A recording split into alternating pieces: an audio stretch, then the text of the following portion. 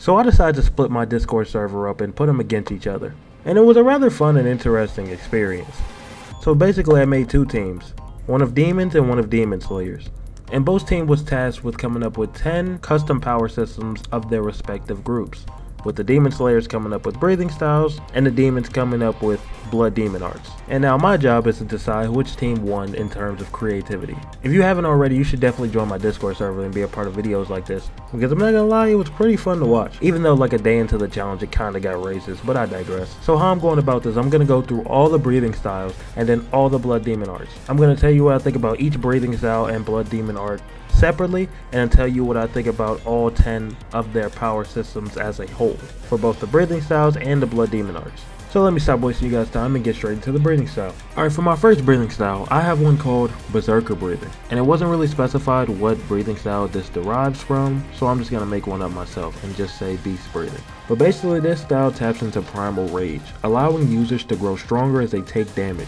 It emphasizes raw power and ferocity, with forms like Beast Fury that unleash chaotic attacks. The risk-reward dynamic adds tension as users must balance aggression with the risk of losing control. I think Berserker Breathing is a fascinating concept because it taps into the primal nature of combat, where rage and pain fuel power. This style flips the typical power-up trope on its head by making damage a source of strength. It invokes the image of a warrior who becomes more formidable as they embrace their fury, adding a layer of unpredictability to battles. The psychological aspect is also intriguing. The internal struggle between maintaining control and succumbing to rage can lead to intense character development. This duality adds depth, making the user's journey as much about mastering themselves as defeating demons. However, I worry about how this style fits into the broader themes of Demon Slayer. The potential for losing control contradicts the disciplined nature of Demon Slayers and could lead to mistrust within a team.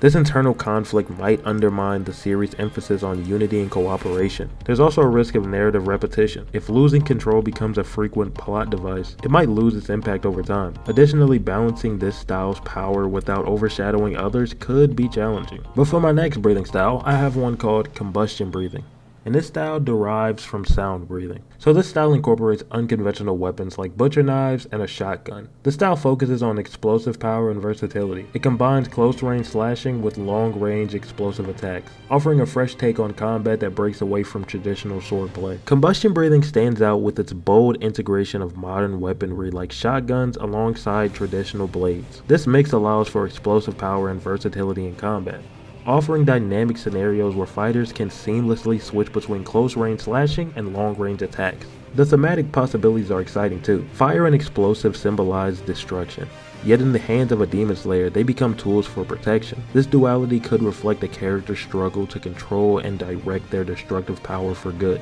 Despite its innovation, I think combustion breathing might feel anachronistic in Demon Slayer's historical setting. The introduction of firearms could disrupt the series' aesthetic and pull viewers out of its carefully crafted world. Balancing this style with others is also a concern. Firearms might overshadow traditional swordsmanship in terms of raw firepower, potentially making other breathing techniques seem obsolete. But on to my next breathing style. I have one called steel breathing, and this style derives from love and wind breathing. This style utilizes a multi-bladed urumi to showcase fluid movements and precise strikes. It balances offense and defense, allowing for intricate combat strategies that adapt to various situations, reflecting both aggression and protection.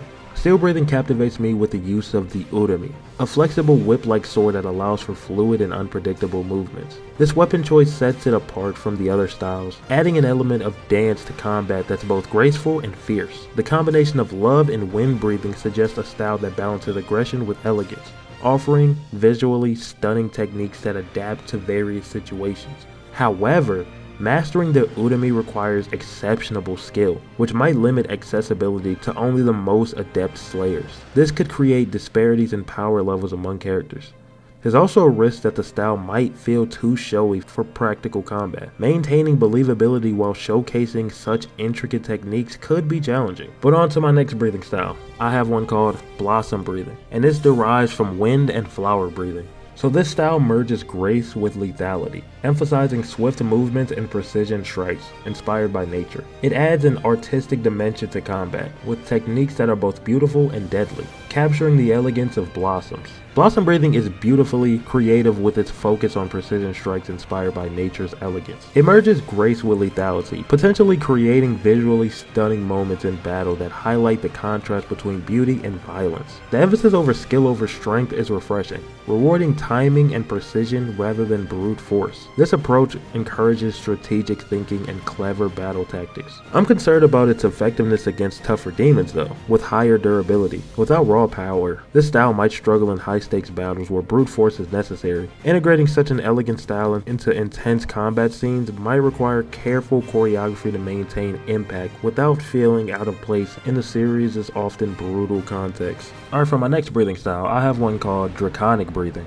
And this breathing style derives from flame and thunder breathing. Integrating dual styles with dragon inspired techniques, this breathing style offers flexibility and thematic depth. It allows for diverse combat strategies that reflect personal growth and the mystical power associated with dragons. Draconic breathing excites me with its mystical inspiration. This approach allows for diverse combat strategies in various situations, reflecting personal growth and mystical powers. The dragon motif adds to an element of mysticism and strength that enhances character development and ties into deeper lore about the origins of demons and breathing styles. However, the consumption aspect blurs the line between Slayer and Demon too much for my liking. It risks undermining the core conflict of maintaining humanity against demonic threats. I don't know if it's just me, but I'm personally not too much of a fan of the common anime trope of the main character becoming like the enemy to defeat the enemy. Moving on to my next breathing style, I have one called Calamity Breathing. And this style derives from stone breathing. Utilizing temperature control, this style manipulates the pace of battle strategically. The chilling effects create opportunities for psychological warfare by instilling fear or hesitation in opponents, emphasizing strategy over brute force. This style embodies raw power of natural disasters, using thematic attacks that mimic earthquakes and storms. It creates an epic scale of destruction, enhancing storytelling by reflecting the user's emotional state or personal struggles. Calamity breathing is a bold and powerful concept that harnesses the destructive forces of nature, such as earthquakes and storms. I think this style is incredibly creative because it transforms the battlefield into a dynamic environment where the user can unleash large scale attacks that reflect their emotional state or personal struggles. The thematic resonance of using nature's chaos against demons is compelling. It suggests a style that embodies both destruction and protection, turning natural disasters into a tool for maintaining balance and order. However, the potential for collateral damage is a significant concern for this style. Using techniques that mimic natural disasters could endanger civilians and allies conflicting with the Demon Slayer's mission to protect humanity. The power level also poses a challenge for narrative balance. If not carefully regulated, this style could overshadow others, making it difficult to maintain tension in battles or justify why the user isn't resolving every crisis single-handedly. But on to my next breathing style. I have one called Glacier Breathing. And this breathing style derives from water breathing. Utilizing temperature control, this style manipulates the pace of battle strategically. The chilling effects create opportunities for psychological warfare by instilling fear or hesitation in opponents, emphasizing strategy over brute force. Glacier breathing captivates me with its focus on temperature manipulation and strategic control. The ability to create icy landscapes and freeze opponents introduces psychological warfare. I think the emphasis on controlling the environment adds a layer of tactical depth, allowing users to dictate the pace of battle and force opponents into unfavorable positions. This strategic approach encourages thoughtful engagement rather than relying solely on brute force. One limitation is its effectiveness in warm environments. If this style relies heavily on cold conditions, it might struggle on heat or fire based attacks that are pretty prevalent in Demon Slayer. Additionally, maintaining consistent tension and prolonged engagement could be challenging if the freezing effect diminishes over time. Users may need to rely on support from allies or alternate strategies to sustain their effectiveness. Alright, for my next breathing style, I have one called steam breathing, which derives from water, flame, and mist breathing. Now this style blends these three elements for dynamic combat scenarios. It focuses on endurance and explosive power, providing flexibility in both offense and defense. Steam breathing intrigues me with its fusion of water, flame, and mist breathing into a cohesive combat style. This blend allows for a highly adaptable approach to battle, where users can shift between different states of water, changing to steam and back again. It suggests a fluidity and versatility that could be incredibly effective in various combat scenarios. What excites me the most is the potential for misdirection and deception. Steam can obscure vision, create mirages, or even scald enemies with sudden bursts of heat. This opens up a range for tactical possibilities for both offense and defense, allowing users to control not only their own movements, but also manipulate opponents' perceptions. However, there are several potential drawbacks to steam breathing that concern me. One major issue is the complexity involving the mastering three elements aspect simultaneously. It might be challenging to justify how a character becomes proficient in such a multifaceted style without extensive training or experience. I'm also worried about how the style would balance power and sustainability. The energy required to generate steam could take a significant toll on a user's stamina over time, potentially making it unsustainable for prolonged engagements without adequate recovery periods.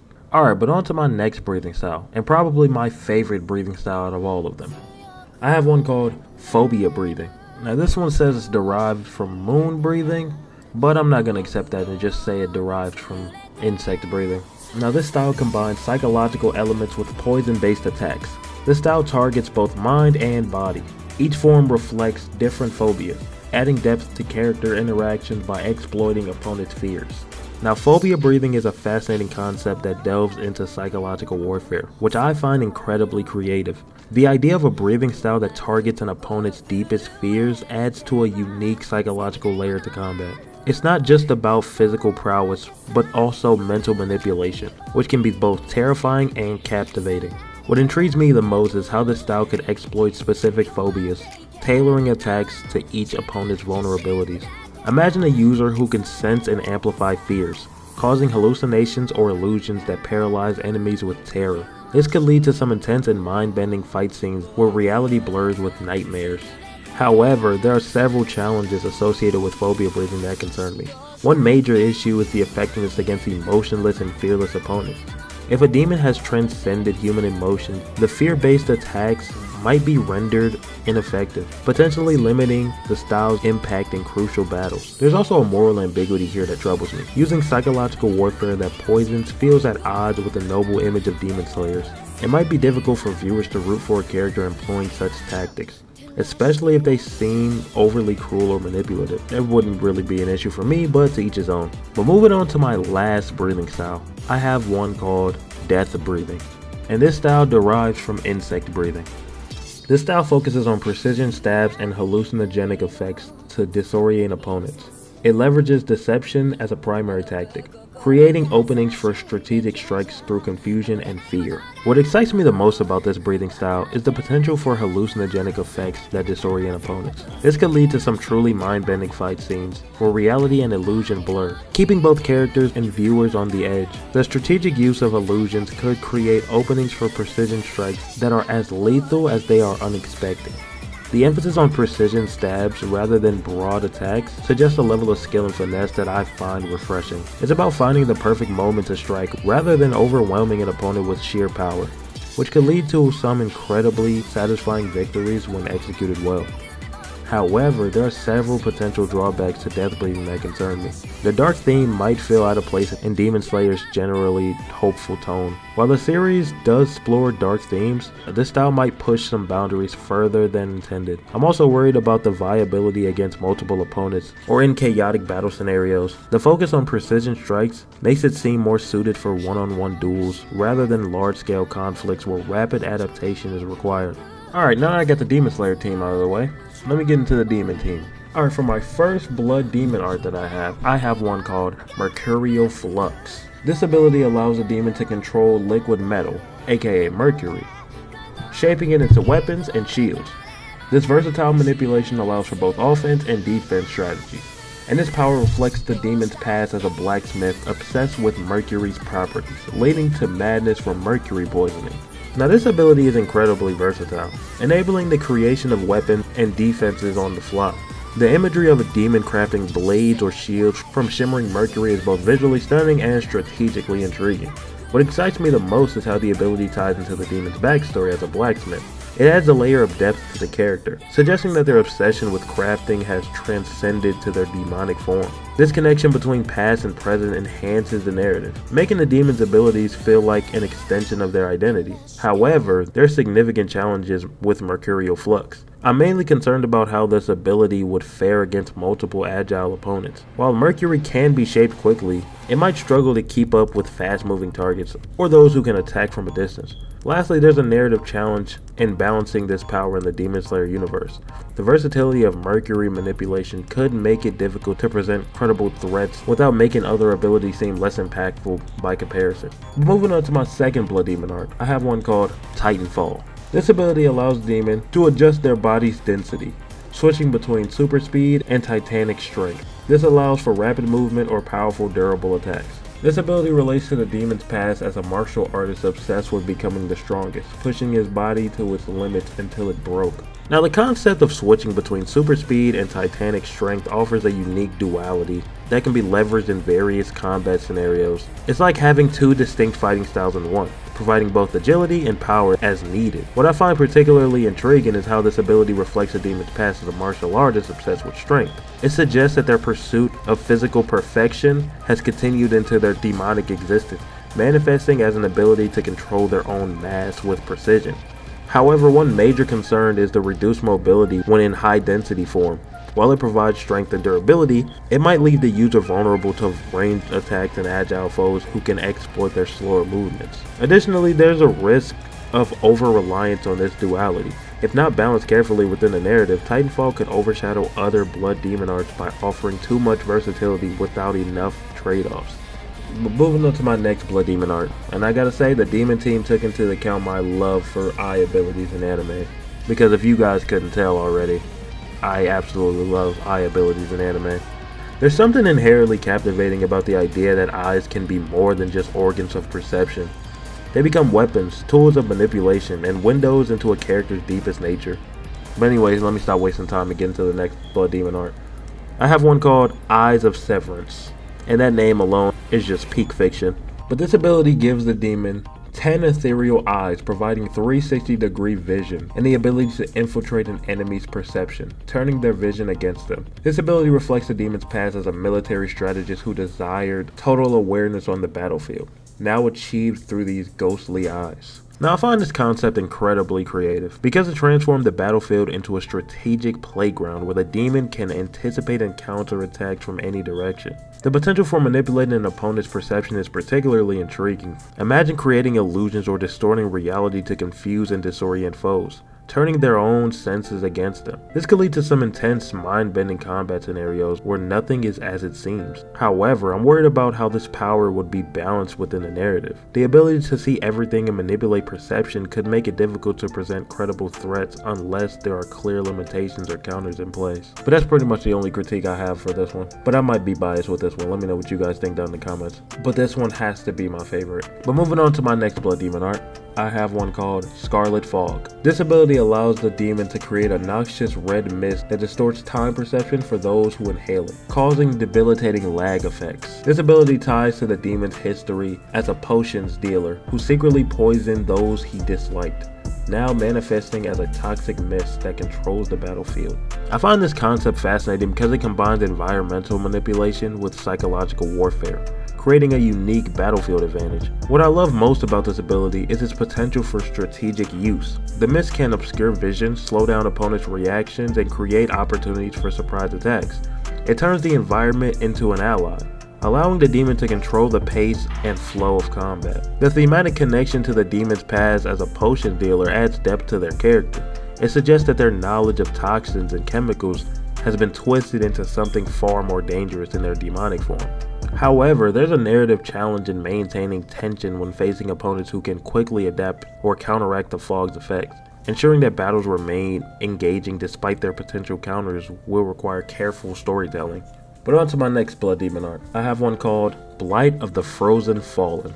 This ability allows the demon to manipulate temperature to freeze anything in proximity instantly, creating ice-based attacks and defenses. This ability reflects the demon's past isolation and resentment towards others, using cold as both a literal and metaphorical barrier.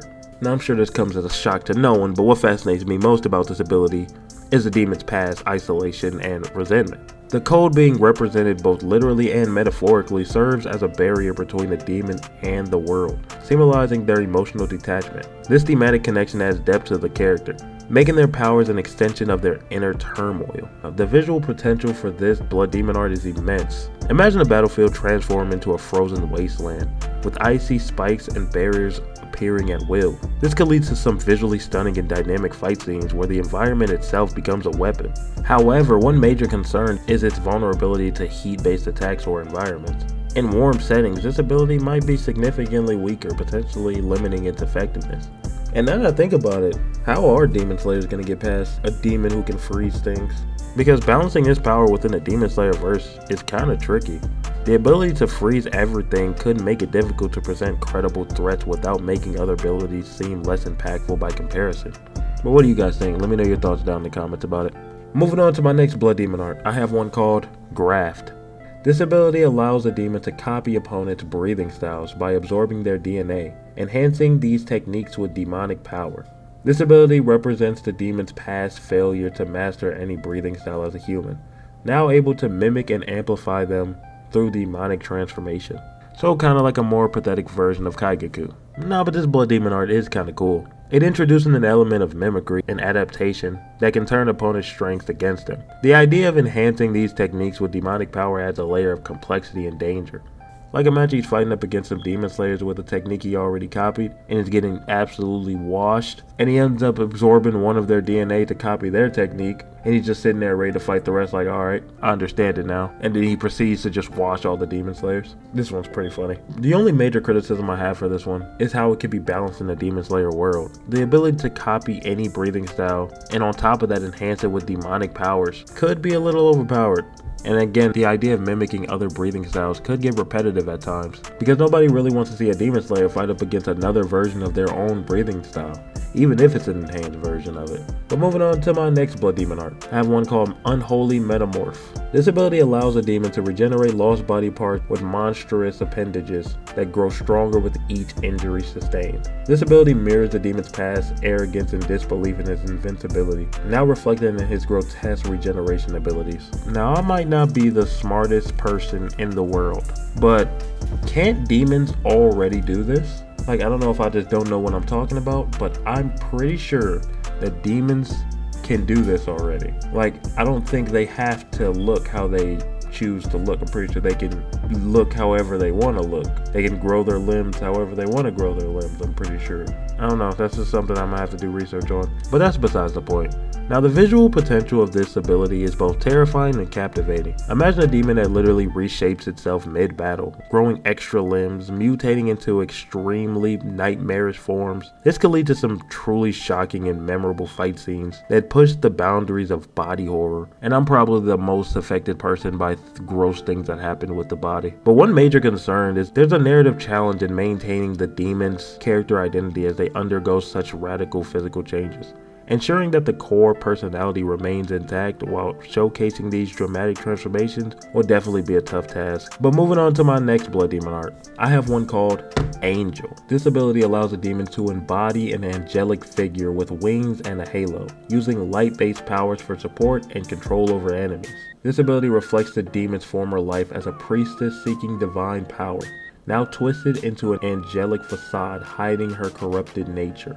Now this one was a great idea because it plays on the irony of a demon embodying divine imagery, creating a striking visual and thematic contrast. What fascinates me the most is how this ability reflects the past as a priestess seeking divine power. The transformation becomes a twisted manifestation of their spiritual aspirations, now corrupted into a demonic form that mimics heavenly attributes. The visual potential of this is actually breathtaking. Imagine a demon with radiant wings and a halo, using light as both a weapon and a means of control. This could lead to some visually stunning and thematically rich battle sequences. However, the sacrificial nature of its ultimate move is uh, limits its narrative use due to permanent consequences, potentially creating a one-time use ability that might feel anticlimactic. I'm also concerned about how this power will be balanced in the larger narrative. It's kind of going to be hard to ensure that this power doesn't become too overpowered or feel like a deus ex machina a solution to conflicts. But moving on to my next Blood Demon art, I have one called Dreadful Red Eye. This allows a demon to transform into a gunslinger with perfect accuracy and power, using revolvers that never miss their target. This reflects the demon's past as a notorious gunslinger who never missed his mark, now amplified by the demonic precision.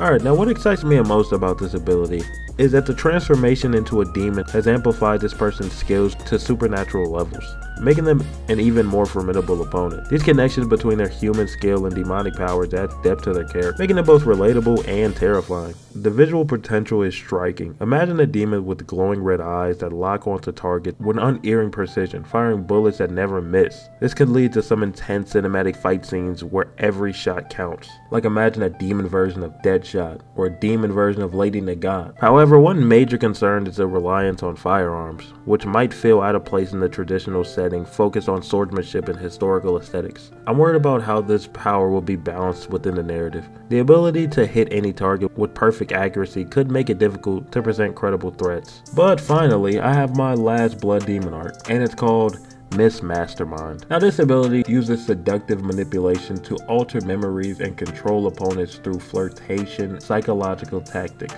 Tied to her past as a loving wife who was driven mad by her grief after losing her family, now using her allure to manipulate others. Now I find this concept incredibly creative, because who doesn't love mental manipulation over physical confrontation? This ability creates a unique approach to combat that focuses on strategy and deception. So basically we would get a Makima in Demon Slayer, and who doesn't love that? What fascinates me the most about this ability is how it reflects the demon's past as a loving wife. Her seductive allure becomes a tool for manipulation, allowing her to exploit emotions and memories to bend others to her will. This connection between her tragic past, and her powers adds depth to her character, making her both sympathetic and dangerous at the same time. The thematic potential is rich with this ability. Imagine a demon who can alter memories and create illusions that play on opponents' deepest desires or fears. This could lead to some psychologically intense encounters where the lines between reality and illusions blur. But there's a moral ambiguity here that might make it difficult for viewers to root for a character who uses such tactics, especially if they seem overly cruel or manipulative. Well, unless they look like Makima, then they'll probably let it pass. But more strongly, there's a risk of redundancy in storytelling. If every encounter becomes centered around psychological manipulation, the novelty could wear off if it's not handled with creativity and variety, potentially leading to repetitive plot lines. Alright, now that I got all the breathing styles out of the way and the Blood Demon arts out of the way, let me tell you how I think both teams did as a whole and who I think wins this. I think the Demon Slayer team really shines in how they take traditional concepts and infuse them with fresh perspectives. There's something incredibly compelling on how they manage to innovate with the constraints of being human.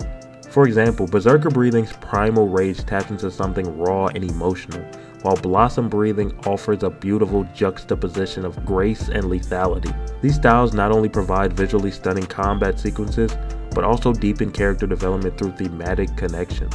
What impresses me the most is how these styles maintain a balance between creativity and narrative fit. They respect the established world of Demon Slayer, enhancing it with new layers without straying too far from its core themes. The elegance of steel breathing and the strategic depth of glacier breathing feel like a natural extension of what we've come to love about the series. On the other hand, I think the Demon team showcases an incredible range of creativity, thanks to their supernatural nature. Abilities like Mercurial Flux and Scarlet Fog are not only visually arresting, but also offer complex strategic possibilities. The way these powers tie into each demon's backstory adds a rich narrative depth that I find fascinating. However, this freedom can be a double-edged sword. Some abilities risk being overpowered, like Dreadful Red Eye's perfect accuracy or Graft's mimicry. Balancing these powers within the story is crucial, and I think it can be challenging to maintain consistency without overshadowing other elements of the narrative. So overall, when comparing both teams, I think the Demon Slayer team comes out on top in terms of creativity. They managed to innovate within limitations while staying true to the series' essence. Their ability to blend new ideas with established themes create a harmonious expansion of the world we know and love.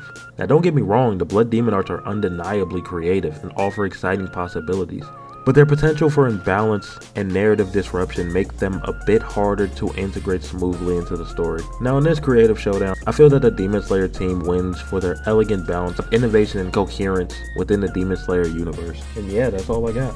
If you guys want to check out the custom breathing styles and the custom Blood Demon art in full detail, you can join my Discord server. All of it will be sitting in there. And if you guys really enjoyed this video, you should leave a like on it and subscribe if you're new. And leave a comment let me know your favorite breathing style and Blood Demon art. And yeah, I'll see you guys the next time I pop up on your homepage. So with that being said, uh, yeah. It's all my fault. I don't know the time goes. Stuck in a phase a pretty face lace with that it all ends one day. I don't really wanna change, I don't tell the truth. I don't really see a point if I don't trust you. I know how you wanna feel, I bet you wanna. I bet you wanna see if anything be real. Um,